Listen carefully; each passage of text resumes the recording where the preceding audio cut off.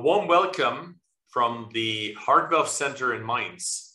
And it's my pleasure to invite you to the new CSI Mainz Valves, which will focus this time on ESC guideline changes and the latest innovations in valve techniques.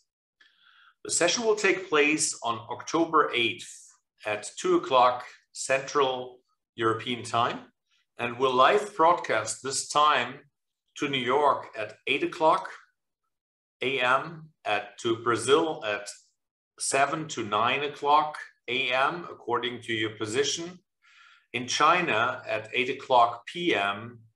and throughout the Eastern Mediterranean and also UK time.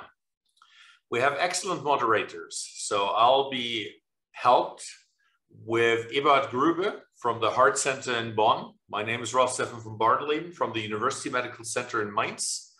And we also have an excellent international panel. We will see Hendrik Treede as minimal invasive heart surgeon. We will have Gilbert Tang from Mount Sinai, New York, USA, on the latest TAVR implant techniques.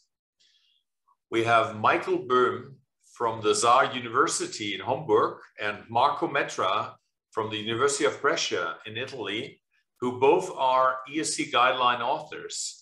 And they're here to discuss with you the latest changes and the transition from guideline directed medical therapy to device and heart valve treatment in the latest guidelines.